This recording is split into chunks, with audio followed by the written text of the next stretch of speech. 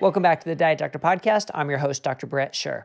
Today we're talking about exercise. Now, we've already done one episode on exercise with Professor Stu Phillips from McMaster University, talking about resistance training, building muscle, basically the importance of muscle.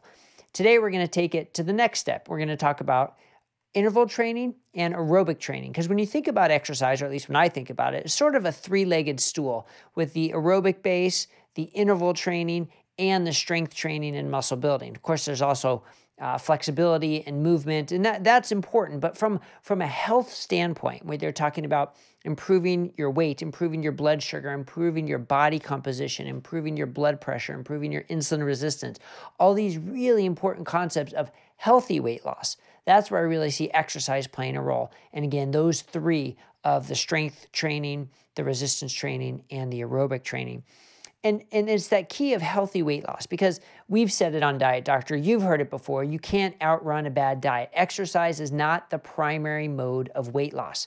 But if you are following a good diet if you are losing weight by other means exercise can really help modulate what kind of weight loss you have because you want to have healthy weight loss. I can't say that enough times. And what is healthy weight loss?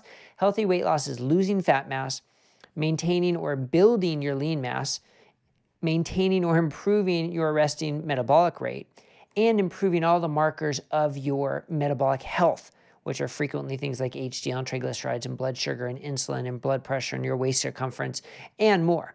But those are a number of the components of healthy weight loss. And so this is going to be an episode of how interval training and how aerobic training can fit in. Now, aerobic training has gone through sort of its cycles. It was like the king in the 70s and the 80s. Everybody was doing marathons, everybody had to do their aerobic training.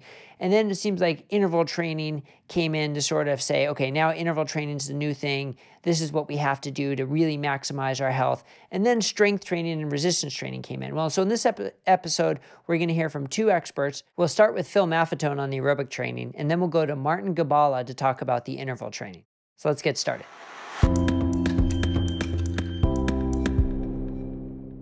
Let's hear from Phil Maffetone, who you can find at philmaffetone.com. Now, Phil has pretty diverse and extensive training background. He's been trained in human biology, in chiropractic research, uh, in applied kinesiology, in exercise physiology, and in Chinese medicine and in physiotherapy. So he really has seen sort of the, the breadth of of um, health and training and and human performance, and he's been working as a performance coach um, and since the 1970s, uh, where he's really one of the pioneers of this aerobic training methods, and he's worked with.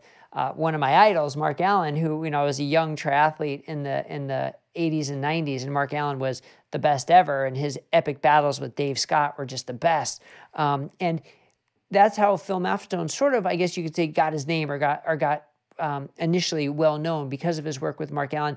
But he went beyond that of working not just with athletes, but working with everyday people to help improve fitness, to help improve health. And he's got a very um, interesting um, take on the the intersection between nutrition and exercise, as you're going to hear uh, in this this part with Phil Maffetone. So let's see what Phil has to say.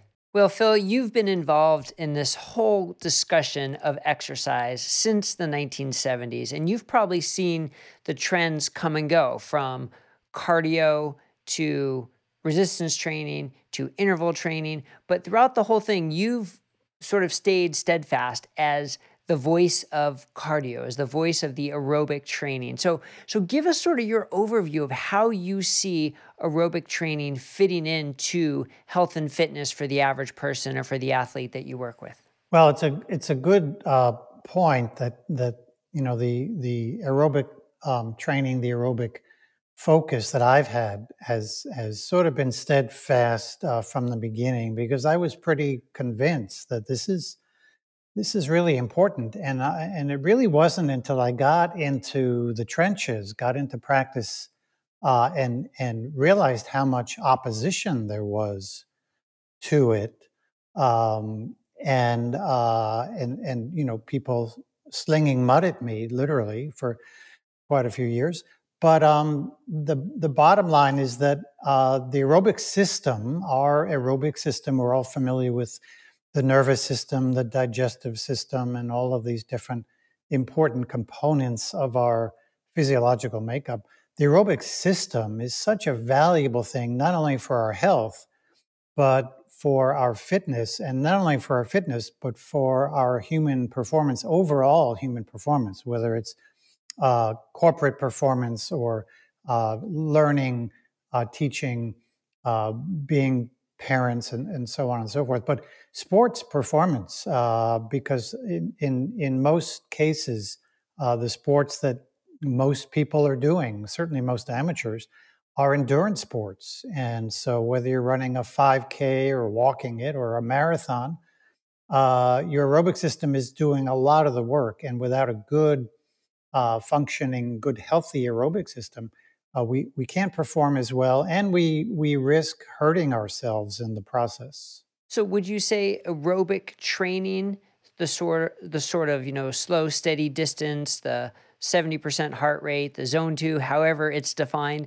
Would you say that's more important than resistance training than interval training? Or do you say it's it's equally as important and just has to come in a different sequence? They're they're equally important. We we certainly want to um, stimulate our anaerobic system, which is our uh, power, fast twitch, uh, speed, uh, system. However, don't don't be fooled by that word speed and the word slow you used um, or easy re- regarding the aerobic system, because as we build our aerobic system, uh, what we're doing is burning more and more fat for energy, and as we can do that, we get faster and faster.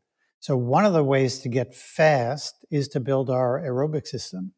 One of the ways to really put a, a, you know tweak that speed is to do the high intensity uh, track workouts or whatever whatever high intensity you enjoy doing. There's no magic bullet there, um, uh, or race as a as a workout. That's a a good way to do it as well. But that aerobic system has to be built first.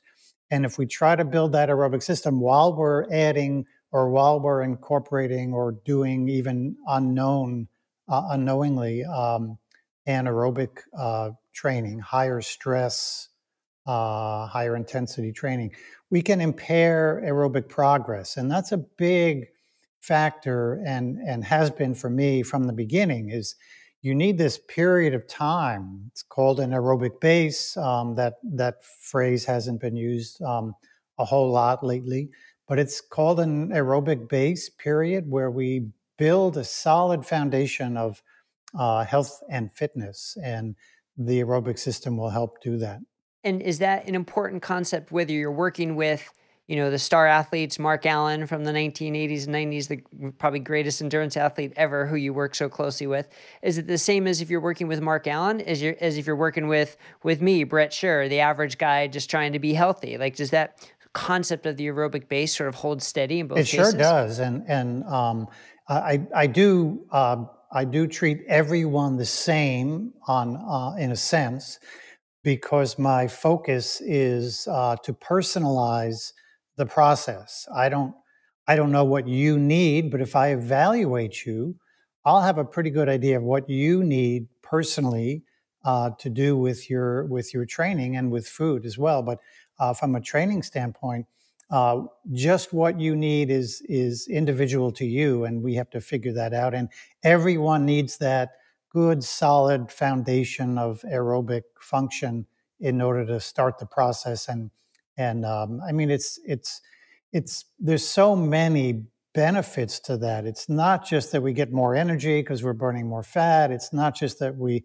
uh, protect our uh, joints and muscles and bones from injury because we're building the aerobic muscle fibers, which are are long term uh, functioning fibers. So all day long we're walking around, sitting, we're we're training, we're doing all these things, and our aerobic muscles can tolerate that because they have endurance, and so uh, we're we're we're we're eliminating the risk or we're reducing significantly the risk of injury when we have a good aerobic system. And that is so important that I think that deserves another minute here the risk of injury because the, the worst thing that can happen is someone decides to get healthy, decides to start an exercise program, gets injured, and then says, Ah, I knew it was bad for me. Forget it. I give up. I'm never doing it again. Like that's the absolute worst thing that can happen. So I guess the practical take home is you don't go from the couch to the heavy lifting. You don't go from the couch to the sprint intervals. You go from the couch to the aerobic base.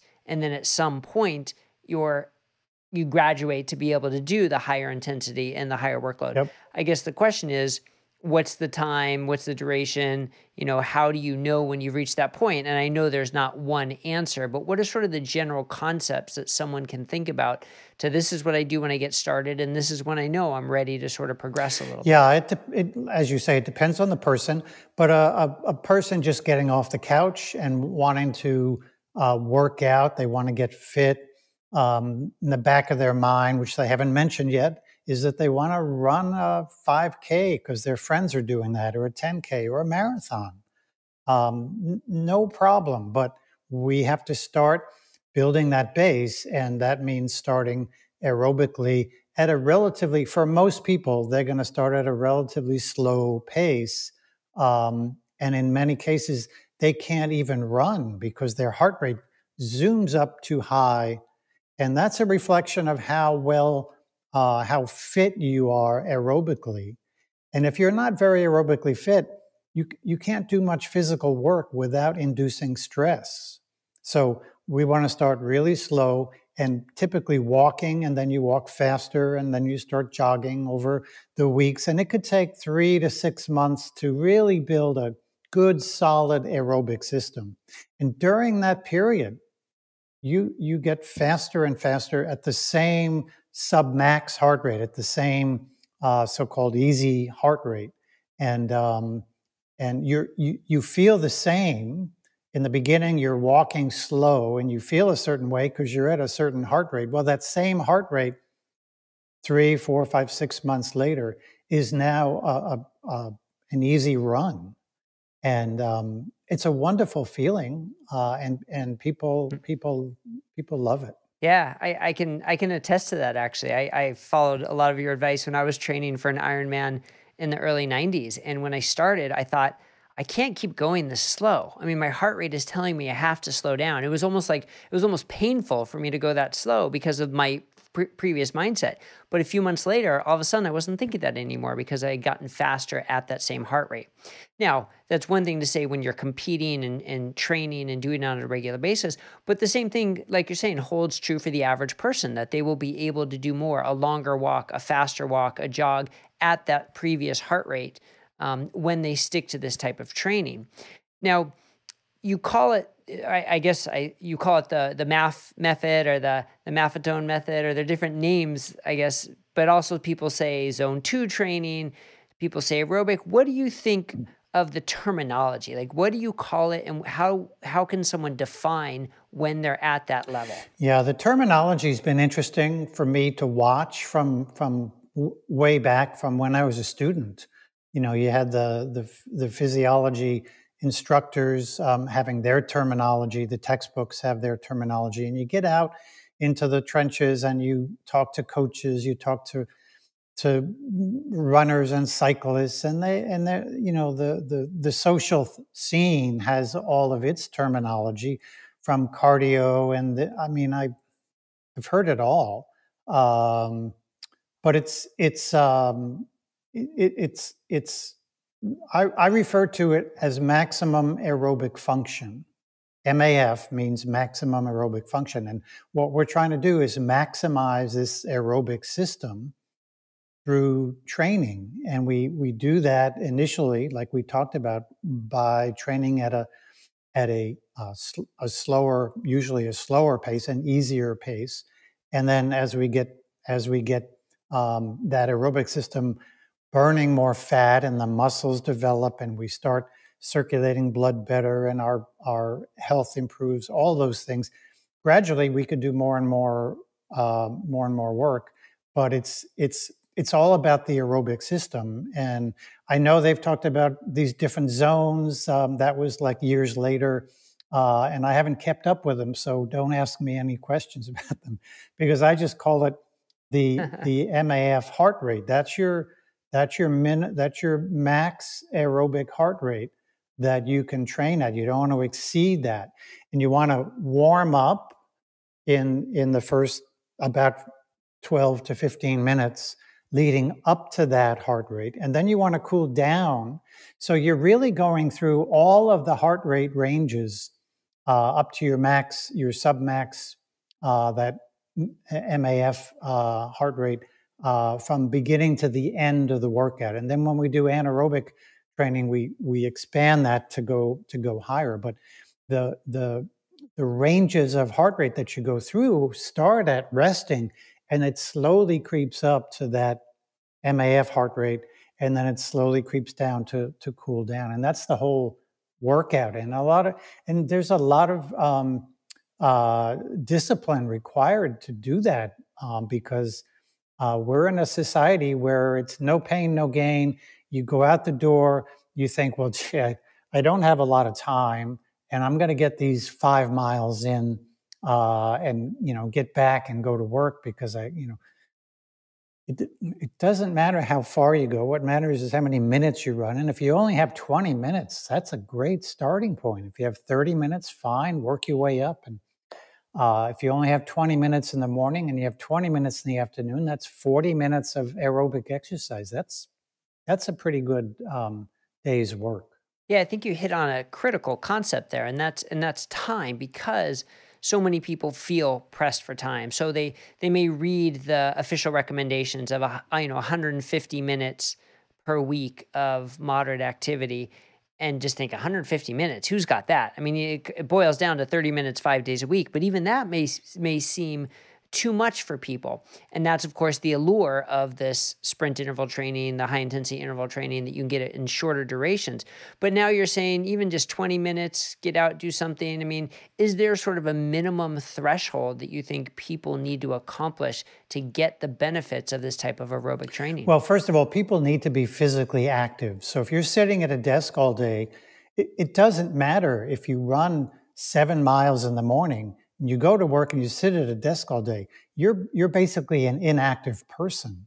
And so the the the the illusion is that you're a runner and you run every day and but you sit at your your desk all day. You come home and you sit on the couch and what you know we need to increase our physical activity. That means getting up and moving and doing different things. Uh, but from an exercise standpoint, um, we really don't need that much exercise to to uh, increase our fitness. If you want to talk about performance and you want to run that 5K and your goal is to, you know, run a faster 5K and then your goal is to run a 10K or a half marathon, um, that's a whole different thing. You need to you need to take your whole life and say, okay, here's my whole life. I've got uh, work, I've got family, I've got these social obligations. I'm taking care of a house. Uh, where am I going to put all that training? And if you don't have time for it, uh, you need to do some soul searching. Um, you, you've got to have time for physical activity. Um, that's a that's a requirement we all have as humans. And um, uh, but but you know don't don't don't cut an hour of sleep out of your schedule because you you know you want to train. That that can backfire. Yeah, that's a great point. That's a great point. Now, I want to circle back to earlier, you talked about fat burning. Um, and, you know, there's this concept of you can't outrun a bad diet, that exercise is not the primary mode of weight loss. Um, but yet you talk about being in the fat burning zone. So give me your thoughts about exercise, how it relates to weight loss and specifically fat mass, fat mass loss. Well, I, what I, what the aerobic system does is it burns a lot of fat, stored body fat, for energy. We, we take this fat, we convert it to energy, and now the aerobic muscles have a, a good amount of energy. We have we have a whole, even the leanest of us has a lot of energy, hundreds of miles of uh, activity that we can do in in in one workout. That's how much body fat a lean person has.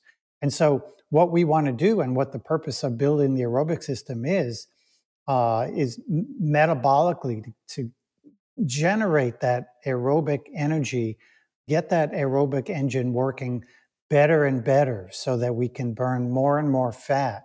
And when we burn more and more fat, we not only burn it during the warm up and during the aerobic workout, and of course the cool down, but we we can burn it all day long as well. So it's not so much the calories we burn during a workout, it's which calories are we burning and how long can we burn those calories for. In the case of fat, when we develop the aerobic system, we burn that fat all day long. So we don't fall asleep at our desk. We don't get um, sleepy, mm-hmm. tired by 6:37 in the evening.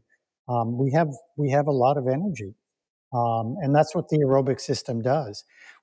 The the phrase "we can't run away from a bad diet" means um, that that whole thing has a caveat, which is if we eat if we eat junk food, it isn't going to work. The the the aerobic as much discipline as you have building that aerobic system, following your heart rate, monitoring your your um, your warm up and cool down, and and choosing the right uh, max aerobic heart rate. Um, none of it's going to really matter. You're not going to. I wouldn't say you're not going to get anywhere because you're circulating the blood and you're you know you're feeling good about the fact that you're working out. But uh, in terms of aerobic function, it just won't it just won't go anywhere compared to when uh, you're eating the right foods and avoiding the the wrong foods. Yeah, and you've always been a big proponent about that intersection of of aerobic training and nutrition. And actually, and I want to get into more about that in a minute, but it actually makes me wonder all these studies that are done comparing, you know, interval training versus aerobic training versus resistance training that don't control for the diet at all um, that really is a weakness to it's a lot a, of those it's studies. It's a huge um, weakness. It's yeah. so much of a and I've always wanted to do a study on on that, and and it wouldn't be hard to do to to to say, hey, look at all these hundred thousands of studies, in fact, um, that didn't uh, consider what the person was eating, or in particular, didn't consider whether they were insulin resistant or how insulin resistant were they.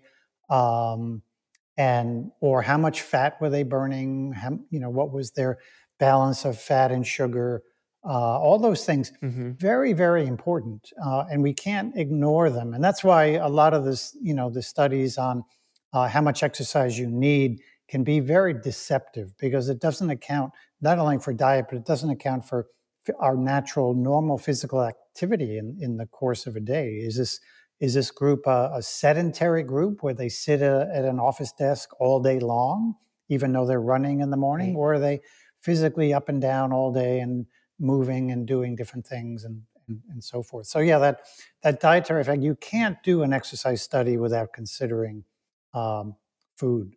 Yeah, that's a good point. And, and while we're still on this concept of burning fat, though, you know, I guess the the knock against aerobic training is that you're burning a higher percentage of fat. But if you do higher intensity work like interval training, your total calories burned is more, at least per unit time. So even if the percentage of fat is lower, the total amount of fat can be equal or more. So not, uh, eh, not hopefully I explained yeah, that correctly. Not, and, and, not yeah. necessarily because uh, we know, for example, that people who are uh, carbohydrate intolerant insulin resistant, um, don't burn a lot of fat. Uh, and if they don't burn a lot of fat at rest, uh, they're not going to burn a lot of fat on the treadmill when they're measured, and they're not going to burn a lot of fat. Uh, they're not going to burn a lot of fat at all those levels of intensity, going up to max.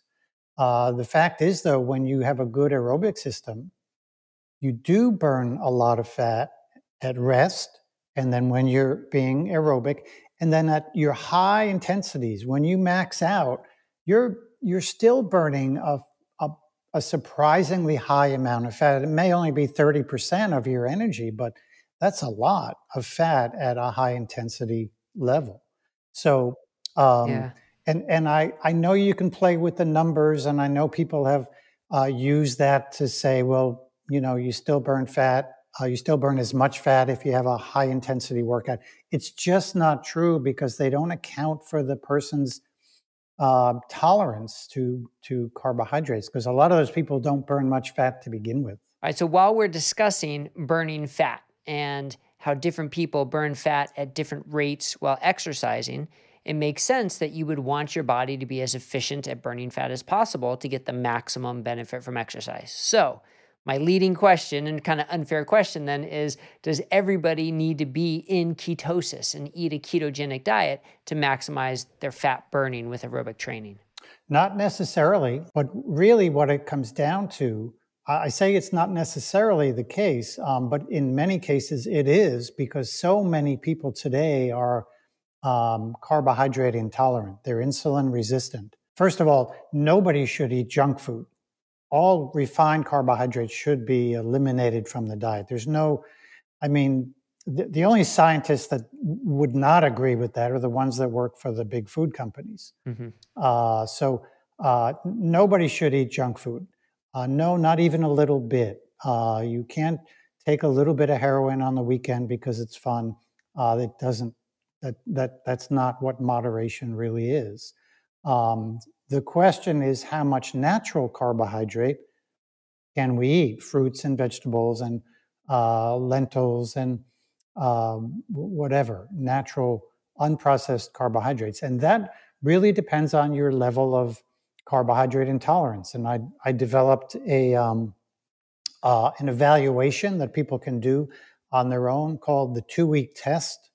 And that enables people to uh, go very low on carbohydrate for this two week period to see how they feel. To they they first they make a list of all their signs and symptoms, um, uh, regardless of what they may be related to, and then they do two weeks of very low carbohydrate, high fat, moderate protein, and they see what um, what happens to those signs and symptoms. If they feel a, a, whole lot better after two weeks, they know they were carbohydrate intolerant, uh, and then they, yeah. they they go from there. And and if you really want to know if your body fat's too high, you don't have to get a DEXA scan.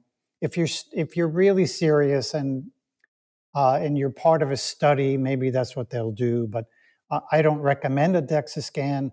I recommend the, the waist to height ratio because it's almost as accurate. Some say it's the same accuracy.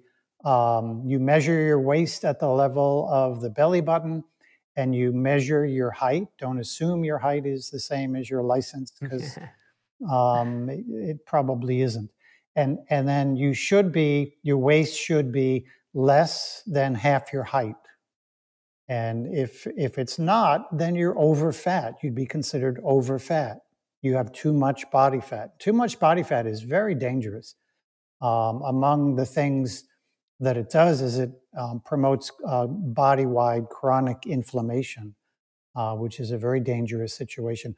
But what it means in particular is that you're insulin resistant, you're carbohydrate intolerant. You cannot yeah. eat even relatively small amounts of um, natural carbohydrate without producing too much too much insulin or uh, without um, inducing stress. Right, and I think I think a real important take home from your message that you've said earlier is if you are insulin resistant and you are doing the aerobic training, you're not going to get near the benefit as if you were not insulin resistant because that's going to really affect um, your fat burning. You know, when you do these max VO2 tests or these exercise cardiometabolic tests, your respiratory quotient, um, how much carbs versus fat you're burning, changes with intensity of exercise. But what, again, what is not talked about enough is what you've been eating leading up to and what your metabolic health coming into the test really affects it. Yep. Which kind of is a is a good transition then to talk about this article you wrote back in 2016, athletes fit but unhealthy that was published in Sports Medicine, where you you did a really good job of of showing this graph or this diagram of the intersection between overtraining, you know, just training too hard, not sleeping enough, not recovering enough, and f- feeling all the negative symptoms that come with that, but also how that's then tied in with nutrition. And that's the part that I hadn't really heard talked about very much. That it's the the high glycemic, high carb nutrition that doesn't just contribute potentially to metabolic disease, but also contributes to overtraining, which was interesting. And also this concept that, you know, look, I'm an athlete. I'm putting in all the miles. I'm doing all the training, so I can eat whatever I want. And I was guilty of that. I was drinking the the you know the goos and the sugary drinks and the the electrolyte replacement that I needed that was full of sugar and loading up with carbs because that's what you were supposed to do. Now, fortunately, I sort of reversed course before it was too late. But we see countless examples of elite athletes who didn't reverse course until they had a diagnosis of metabolic syndrome or type 2 diabetes or whatever. So this is sort of this emerging field. So so give us your, your impression on this intersection between food, training, and unhealthy athletes. Wow, there's there's a lot of places to go, and one of the, the most unfortunate examples is the person who dies partway through a marathon or in the swim of a triathlon. We heard about one just the other day, actually, um, in in Florida. Um, mm. uh, Fifty, I, I, think a fifty year old or early fifties. Uh, uh, you know, it, it's a preventable problem um, and and and it's very sad that these things just have been ongoing for many many years. Uh, we we we we have to stop and say, well, this no pain no gain thing hasn't been working. This junk food sports diet hasn't been working. What are we going to do about it? And you know, a lot of these cases and and a lot of people who aren't sure what's going on, they could be evaluated. They can be tested. We know uh, we know the, the, the signs, we know the risk factors. Uh, they're often um, not, not evaluated. So uh, many people don't know that they're a ticking time bomb.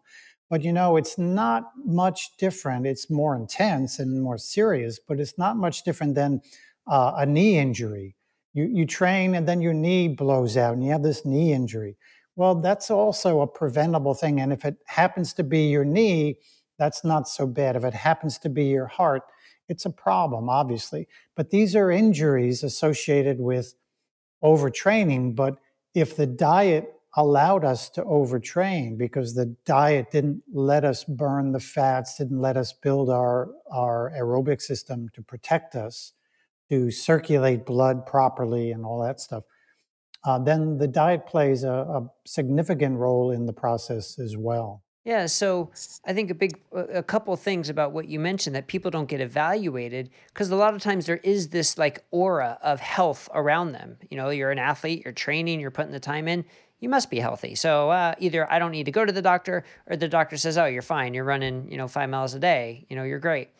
And the evaluation doesn't go much further. So I think that's one problem that we just have to get over that sort of automatic halo of exercise equals health.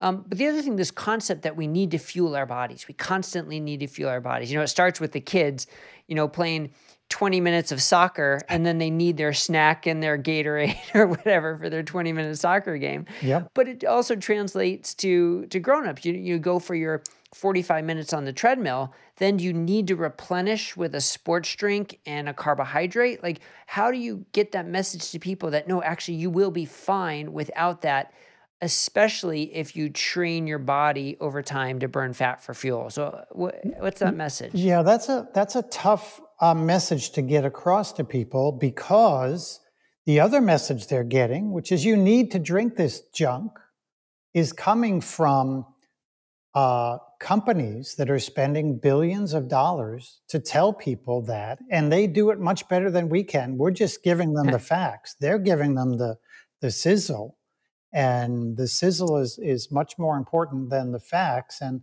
uh, when you have uh, you know when you're when you're showing the olympics and the the marathon is being run and then it goes to a commercial and you get people guzzling down you know that image stays with you. And that has been uh, what's been ongoing since the 50s uh, and you know we need the more carbs you can get in, the better, and because you need glycogen stores. And it's such a farce. It's just such a farce. And yeah. I, I, don't know. This is a public health problem, and uh, public health really doesn't want to address it. Governments don't really want to address it. They're they're ignoring it. Um, they're being lobbied by the same companies that are telling people to guzzle down the the, the junk food drinks and eat the the garbage, uh, you know, the so-called energy bars, which zap your energy actually.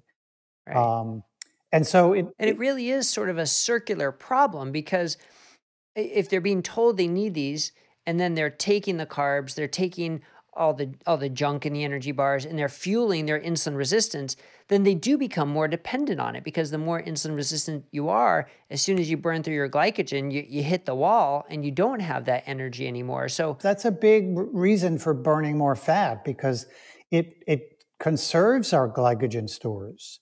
And if we're in a marathon and we're using a lot of fat, we're not using up our glycogen stores. We're we're conserving that glycogen until the last mile or two or three, the last 5K, when we're going to really kick that the, those last, you know, three miles uh, or or mile or two, uh, and we're going to use up our glycogen stores at that point.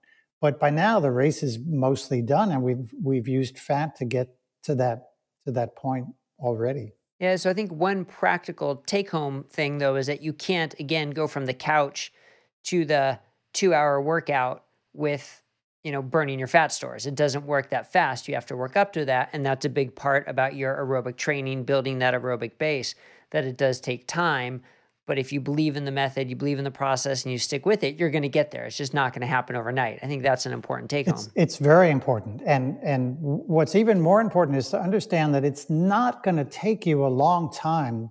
If you're eating well, you're already on your road to being more fit. If you're eating well, your first workout, 20 minute walk, is going to give you huge benefits.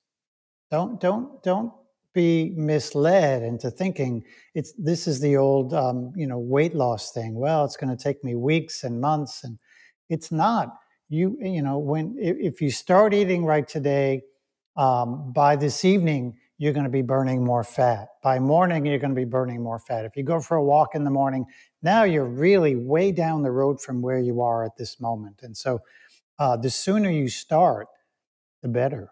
Yeah and that's interesting because people a lot of times like metrics. What can I follow? What can I measure? How do I know it's working?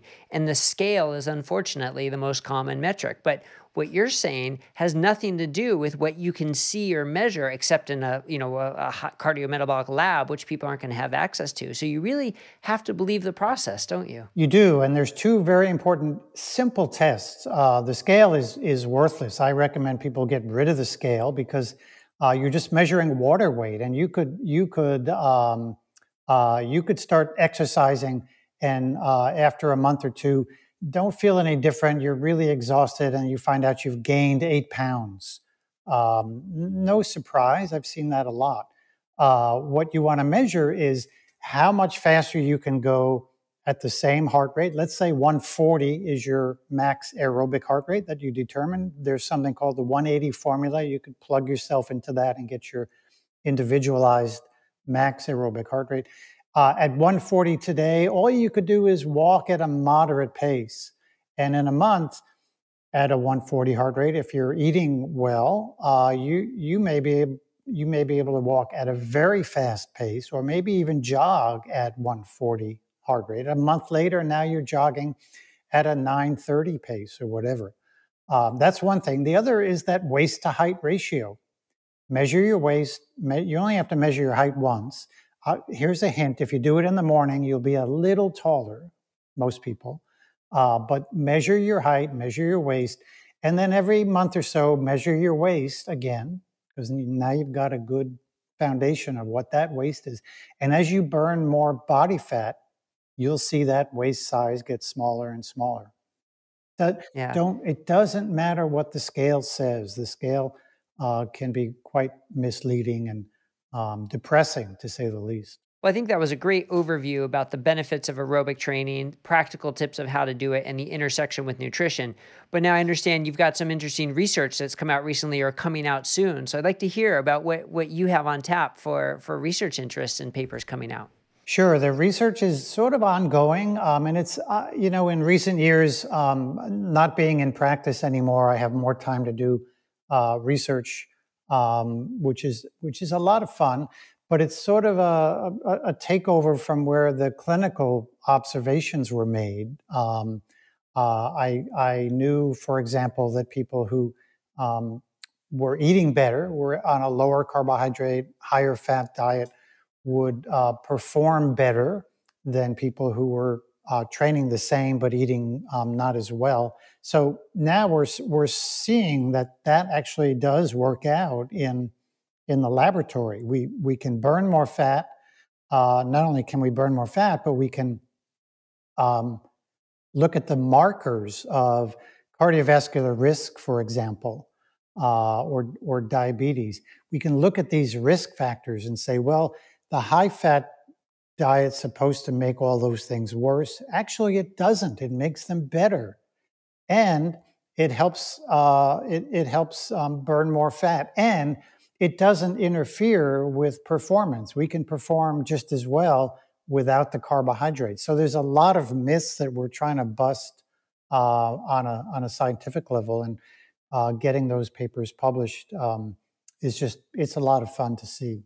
Very good. Well, I look forward to more research coming out because I do think that that intersection of of dietary quality and training methods um, is really going to elevate the the health research in general, and certainly the exercise research when you combine it with with nutrition. So thanks for being an advocate for that, and and not just on the clinical side, but on the research side as well. I think that's so important. It is. Next, let's hear from Martin Gibala. Now, Martin is a PhD in kinesiology and a professor at McMaster University in the Department of Kinesiology. He's also the author of the book called The One Minute Workout. We started with maybe the seven minute workout, the six minute workout. He brought it down to the one minute workout. So, we're going to talk a little bit about that. Uh, you can find him on Twitter at Gibala, or at Gibala, G I B A L A M, and then martingibala.com as well.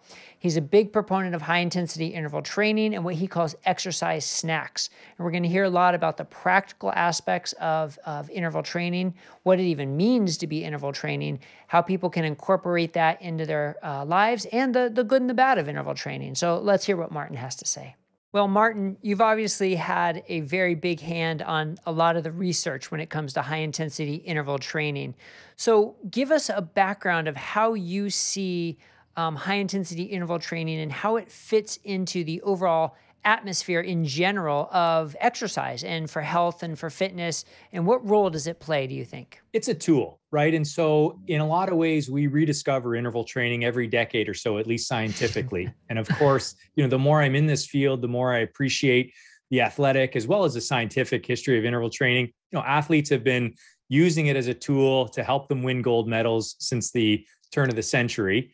And you know i now i i think now there's certainly widespread interest in the term interval training. I think people use HIIT as sort of a uh, as a catch-all phrase but to me HIIT is just one element or, or one aspect of of interval training.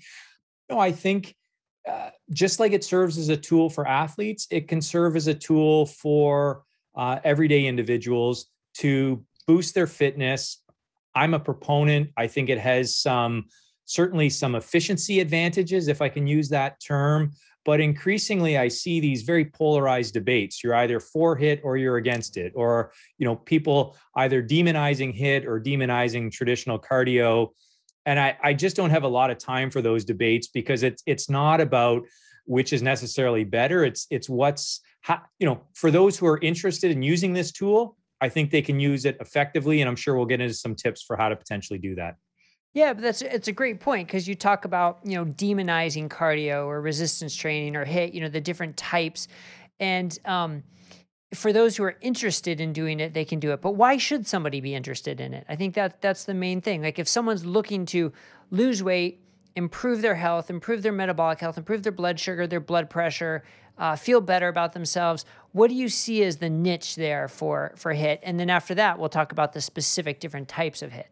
Sure, a couple of things. Uh, I, I, think clearly when when I say efficiency, there's definitely a time efficiency to interval training, and to me, there is this intensity duration trade off, and intensity that the higher the intensity, so the the the harder you're willing and able to work, the less time that's required to see some benefits. And so, at least for some individuals, you know, now if you're an athlete, you want to optimize performance. HIT is essential in order to allow you to do that. And any serious endurance athlete is util- utilizing HIT as a tool to optimize their performance.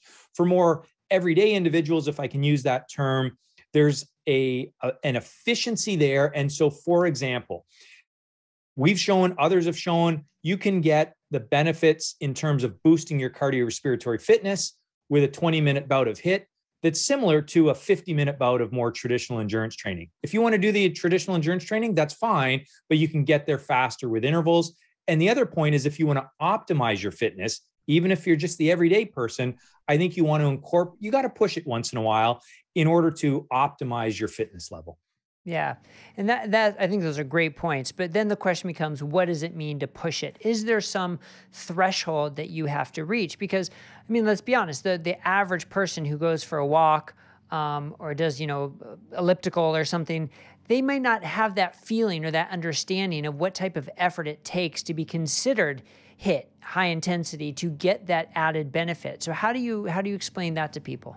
Sure. So let's even start with that catch all term that I used, interval training, which is really just intermittent exercise. So alternating periods of higher intensity effort and lower intensity effort. Now, at the low end of the scale, or I will think of green, yellow, and red zones of interval training. So green is something as simple as interval walking. You know, your your only exercises or activities walking around the block at night, picking up a pace for a few light posts and then backing off. Just light, moderate, alternating periods of exercise. And we know from randomized clinical trials that that can actually be a better approach for you at improving your blood sugar, improving your fitness, even at uh, you know changing body composition as compared to just steady state moderate intensity walking. And for a lot of people, that doesn't count as interval training. They don't think that. Uh, you know, a lot of many individuals still think as HIIT is this all out as hard as you can go gut busting type exercise. And that's only one flavor. The, the yellow zone to me is classic high intensity interval training. And so the intensity there is above about 80% of maximal heart rate. I think there's growing consensus around that but it's still submaximal in nature. You're not sprinting all out and it would be below your VO2 max pace. So that's sort of that middle yellow zone. And then the red zone is all out as hard as you can go, super maximal type exercise. And when we say super maximal, it's usually above VO2 max pace. And all of those approaches have been shown to be beneficial in certain individuals. Now, if you're the elite athlete, you're not going to use the green zone, it's not going to help you. But if you're the diabetic who's just starting out getting into exercise, you can adopt an interval training strategy but it's not up in the red zone. It's down in yeah. that green zone. And I think that's certainly one of the things that I appreciate interval training is its broad the many different types. We talk about expanding the movement menu, providing people with more options that are grounded in good science. There's only so many ways to jump on a treadmill and jog for 45 minutes at a moderate pace, but interval training I think really opens up and prevents uh, presents a lot of possibilities. Yeah, so you, you already mentioned blood sugar control for people with type 2 diabetes. Now, why does shorter bouts of high intensity interval training improve blood sugar um, the same or better than longer bouts of moderate exercise? Yeah, and, and you touched on something, and I hope we come back to that this idea of the same or better, because it really depends on how you make the comparison. And perhaps we can get into that.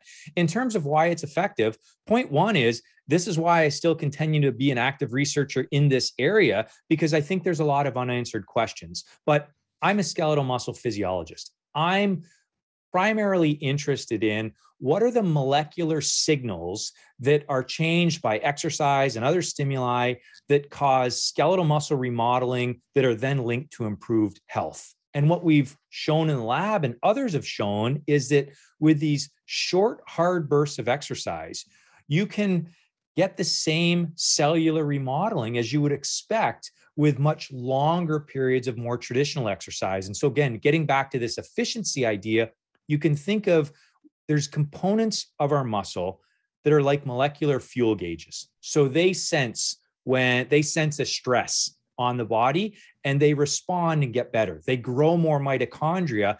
And we know that one aspect of insulin sensitivity is linked to your mitochondrial content. So if you grow more mitochondria, you enhance the metabolic capacity of skeletal muscle, that's going to be associated with better blood sugar control. Whether it's a direct link or whether it's an indirect link, that you know we could have a whole discussion about that. Point being more mitochondria is good for your muscle health which is in turn good for your overall health.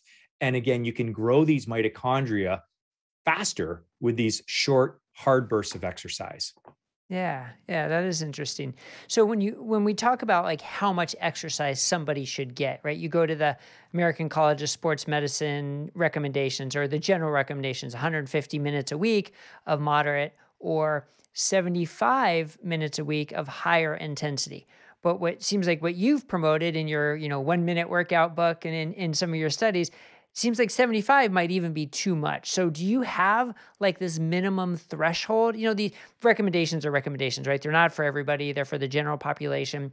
But I think most people want to know is what what amount do I need to do to get that benefit? Do, so do you have numbers in your head that that help people answer that question?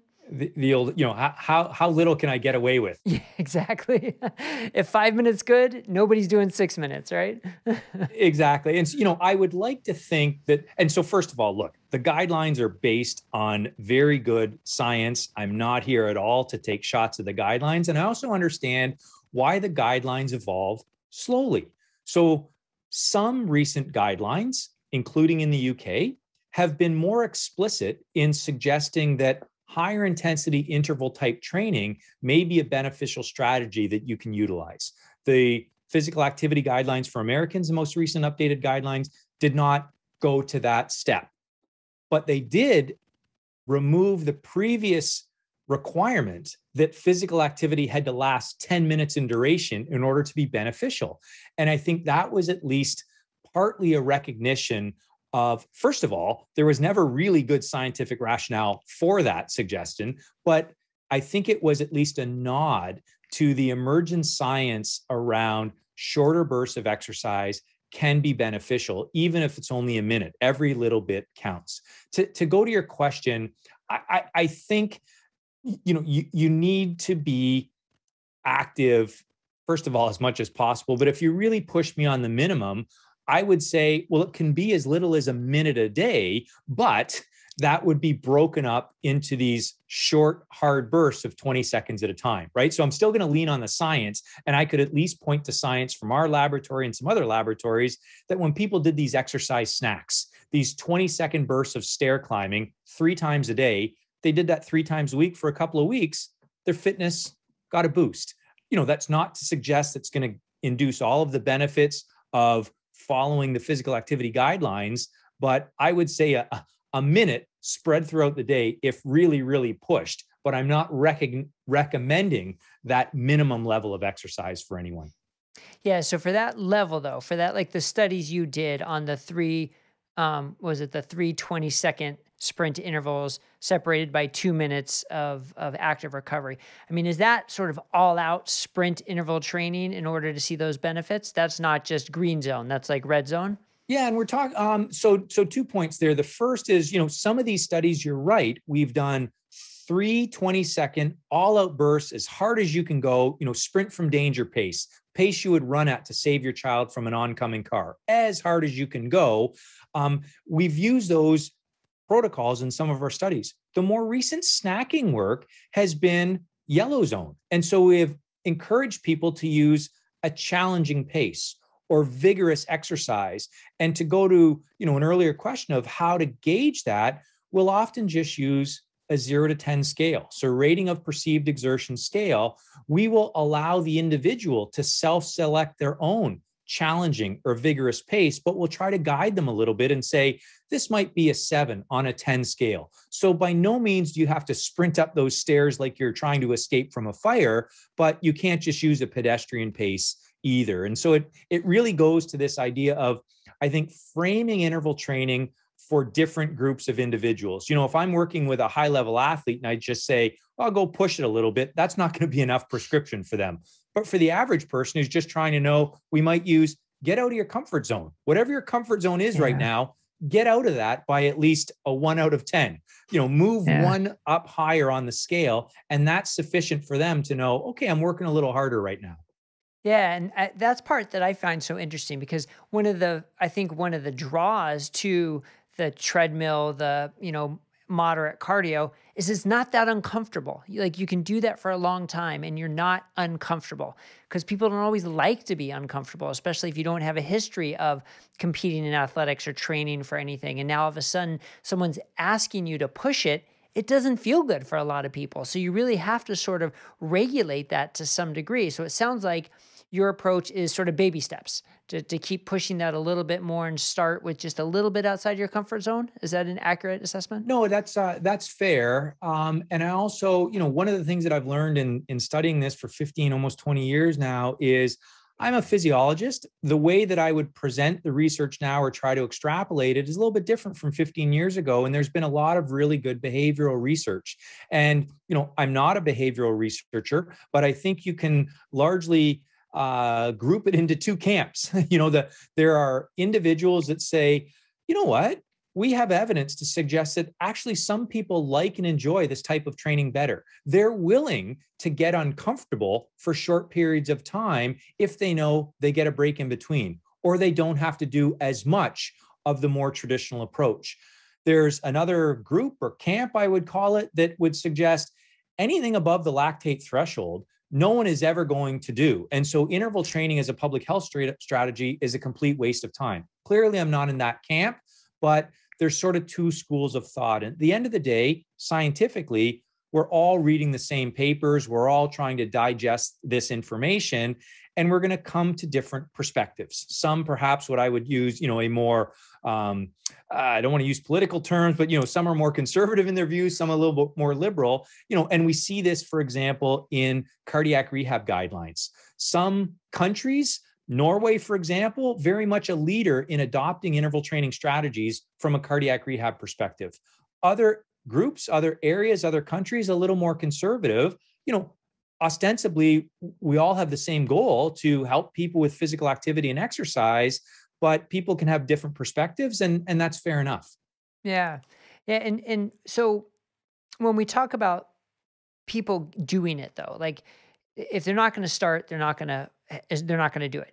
But if they start and they get injured or they don't feel good for some reason they're not going to do it either. So and there was actually an, uh, an article called um, uh, published in Trends in Endocrinology and Metabolism is HIIT harmful to health. And I think part of that concern is injury, and part of that concern is like overtraining and doing too much. Um, so, what kind of advice do you give to sort of prevent that from people going too far? Like, if a little bit is good, then more is better, like that concept. Yeah, so uh, two aspects there. I guess one from the injury perspective, I think it really depends on the type of exercise you're doing. You can exercise very vigorously on a bike or on an elliptical or in a swimming pool with very little impact and very low joint stress, right? So just because something's high intensity doesn't mean it's necessarily potentially more injurious from a musculoskeletal perspective. Clearly, sprint running much, much higher joint impact forces, much, much greater eccentric loading, potential for soreness and uh, and and injury. So uh, again, it really depends on the type of interval training.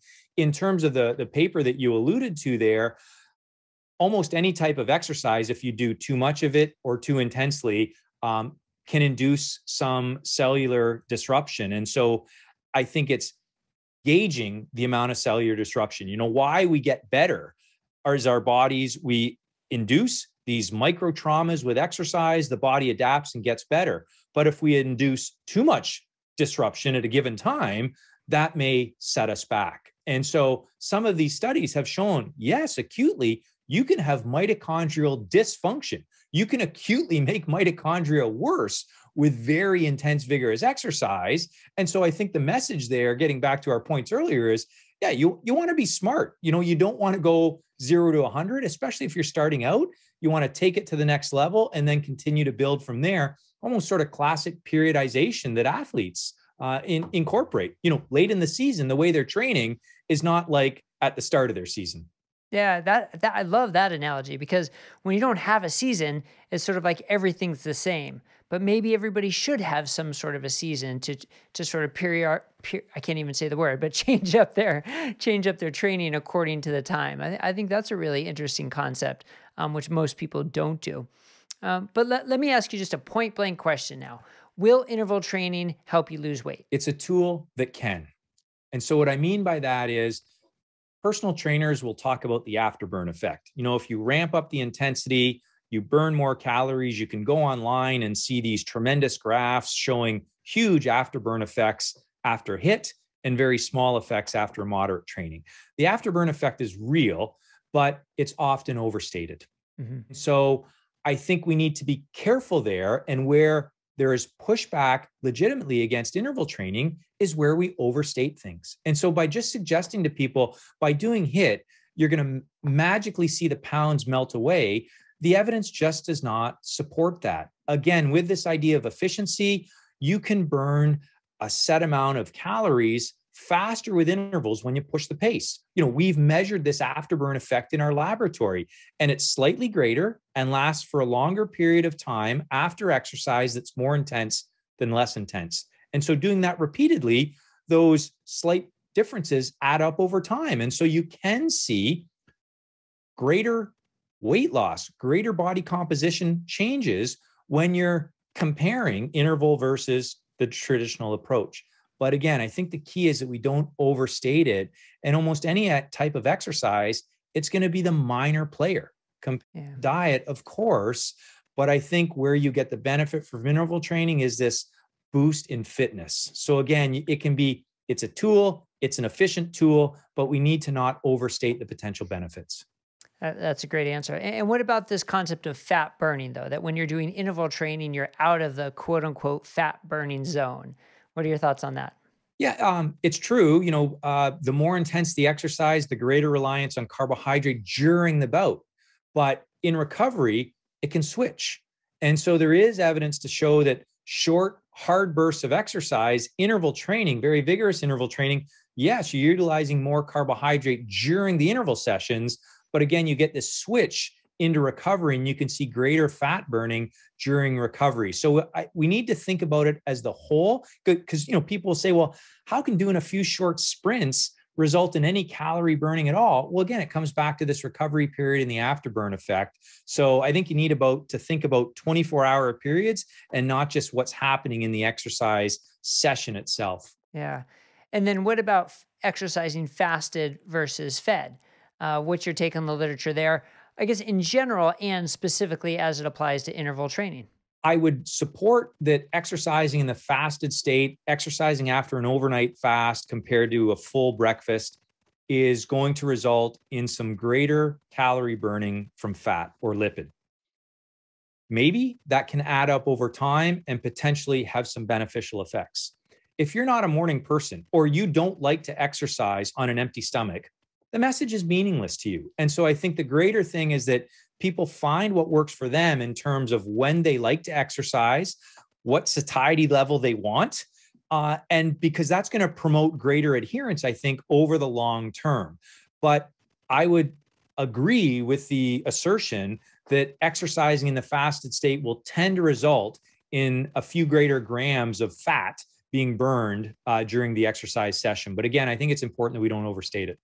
Yeah, and I think I think I, I, like that we're coming back to this statement of yours that we we shouldn't overstate it. Whether it's the afterburn effect, the fat burning effect, the the difference between fed versus fasted. Yes, science says there's a difference between those, but then we have to talk about the magnitude of the difference. And I, from what I'm getting from you, the magnitude of difference is kind of eh. It's kind of not that impressive. So what really you have to do is what you're going to be most consistent with and what you enjoy the most. Is that fair characterization? Definitely for the yeah. Again, we're using this hypothetical average individual, but you know the who's using exercise to you know try and boost their fitness level. You know, for them, I think it's getting the fundamentals down. Right? Are you are, you know are are you getting your sleep right? Are you know is your diet generally okay? Uh, otherwise, we're we're playing on the margin here with these things. But now, if you're the elite athlete, and you're doing everything else perfectly, it's a bit like supplements, right? Some of the, you know, once you're doing everything perfect, it's like the tip of the pyramid, then it can have some subtle but highly beneficial effects. But if the base of the pyramid is not right, it's it's it's it's within the noise, right? You right. It's it's meaningless for for most people if if you don't have the fundamentals down. Right. If you're still eating all the processed, highly refined carbs and junk food, but you're taking the supplements to improve your longevity, you're kind of missing the boat. So Similar with exercise. All right. Well, but now say somebody has started on the interval training path to improve their health. And as they're doing it, they enjoy it. They're doing more of it. They're doing it, you know, five days a week. They're cranking it. They really like it.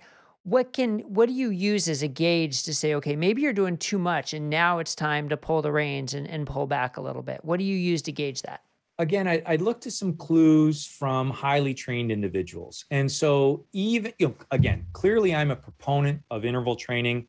I'm not an exercise physiologist who's uh, at the coal face with elite athletes. So I'm not working with elite athletes every day. But if you talk to elite coaches and elite endurance athletes, most are still using about an 80 20 split. So 80% traditional, moderate intensity, aerobic base style training, 20% high intensity slash interval training. And so I think the more your training starts to reflect the way that serious high level athletes train in terms of overall volume, in terms of structuring, there I think you need to be careful about the potential to do too much interval training. You know, if you're an elite athlete training 30, 40 hours a week, 20% intervals, that's a lot of interval training in an absolute sense, you know, five, six, seven hours a week. If you're only training five hours a week, then I think the percentages can slide a lot more. You know, you can hmm. 50, 60, 70% intervals because it's a very efficient way of training. So I think to your point, the more serious you get about training, the longer or the greater the volume of training, I think that's where you need to be mindful of the potential for doing too much. Uh, because you know overtraining is this nebulous concept it's really hard to define objectively or at least monitor objectively but I think you can overtrain either because of high volume, high intense yeah. combination of both. Do you find much value in things like heart rate variability or, you know, resting body temperature or resting heart rate in general? Like, do you find much value in those metrics?